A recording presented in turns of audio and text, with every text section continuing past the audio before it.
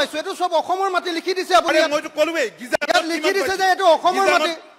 ভূমিৰ এইটো- পৰিমাণ আছিলে লিখি দিছে যে এইটো অসমৰ মাটি আৰু ভূমি- অসমৰ মাটি আপোনালোকে মেঘালয়ত দি আছে নালাগে, ইয়াত উত্তৰটো দি দিয়ক মেঘালয় কোন পৰা মাটি পাইছো এ, আপুনি দম নিদিব দম নিদিব কথাটো। মেঘালয় কোন। মেঘালয়ৰ কোনকেইটা ৰাজচক্ৰৰ পৰা অসমে মাটি পাইছে ইয়াত উত্তৰ লিখি থোৱা আছে যে অসমৰ কোনকেইটা ৰাজচক্ৰৰ পৰা মেঘালয়ে মাটি পাইছে লিখা আছে। মেঘালয়ে কোনকেইটা ৰাজচক্ৰৰ পৰা অসমে মাটি পাইছে? কাৰণ তেখেতে কৈছে যে কৈছে। আমি দিছো আৰু লৈছো। ইয়াততো ক'তো মেঘালয়ৰ কোনো ৰাজচক্ৰৰ নাম নাই। অসমৰ ৰাজচক্ৰৰ মাটি দিয়াৰহে নাম আছে ইয়াতে গোটেইখিনি। অনাৰেবল মিনিষ্টাৰে ক'ব এতিয়া। মাননীয়।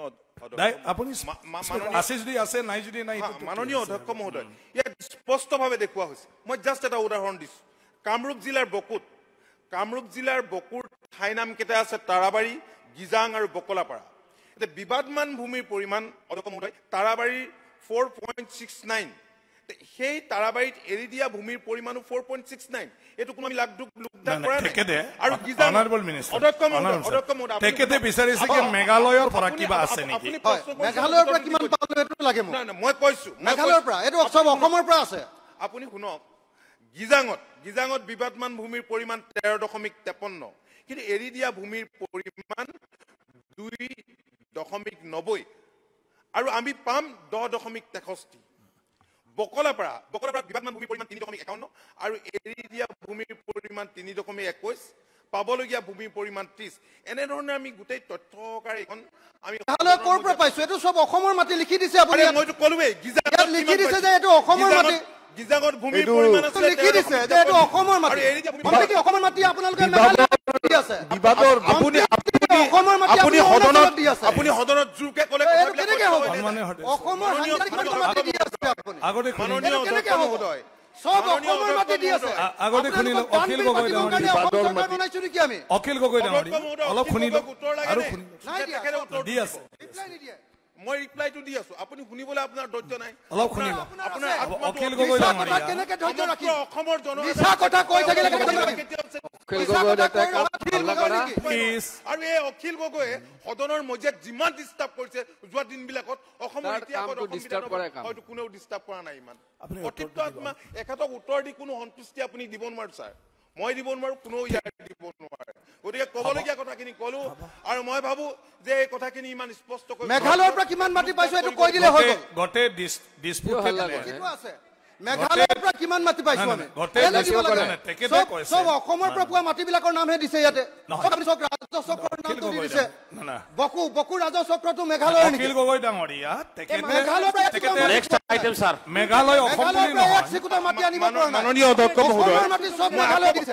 ডিসপিউটেড ল্যান্ডটো কিয় বুজি অসমৰ নাপায়? মাটি চব মেঘালয় দি দিছে। Please. ডিসপিউটেড শব্দটো বুজি পায়। প্লিজ বিপদমান শব্দটো বুজি পায়। ইয়াত আপুনি মেঘালয় বিপদমান শব্দটো মেঘালয় মেঘালয়ৰ ৰাজহ চক্ৰটোৰ নাম দিয়ক। শব্দটো বুজি পায় নাপায় আপুনি? মেঘালয়ৰ ৰাজহ চক্ৰটোৰ নাম দিয়ক। শব্দটো আপোনালোক দানবীৰ পাতিছো। নেকি? অসমৰ মাটি দি বুজি কাৰণে। আপোনালোকক দানবীৰ পাতিছো নেকি? বিপদমান শব্দটো আপোনালোকক পায়। দানবীৰ পাতিছো নেকি? অসমৰ মাটি দি মাননীয়- মাটি দিব। মেঘালয়ত মাটি দিব। এইটো কেনেকে হ'ব। অসমৰ মাটি দিবৰ কাৰণে এইটো মাননীয়। অধ্যক্ষ মহোদয় শান্তি। আপুনি আপুনি চব সাংবিধানিক মাটি দি দিছে। আপুনি বহক মই প্লিজ মই কৈ আছো। সন্মানীয় সদস্যগৰাকীক কওক মই ডিটেইলছত কৈ আছো। আৰু কম। নহয় মই মই মই মোক এটা- উত্তৰটো এটাই লাগে মেঘালয়ৰ পৰা কোনটো মাটি পালো? নাম কওক। ৰাজহ চক্ৰটোৰ নাম কওক মেঘালয়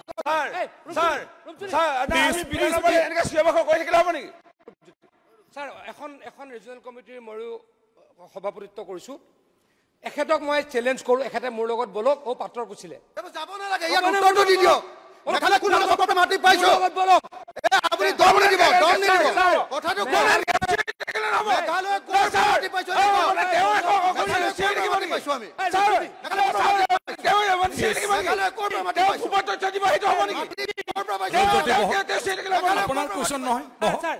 মেঘালয় বনোৱা পুখুৰী তেওঁলোকে বাউণ্ডৰী দিয়া তেওঁলোকে আধাৰ খিলা কৰা তেওঁলোকে আমাক হস্তান্তৰ কৰিছে। আপুনি মোৰ লগত বলক। মাটিটো ক'ৰ? মই দেখাই ইয়াত দিম। দিয়া নাই কিয়? ইয়াত দিয়া নাই কিয়?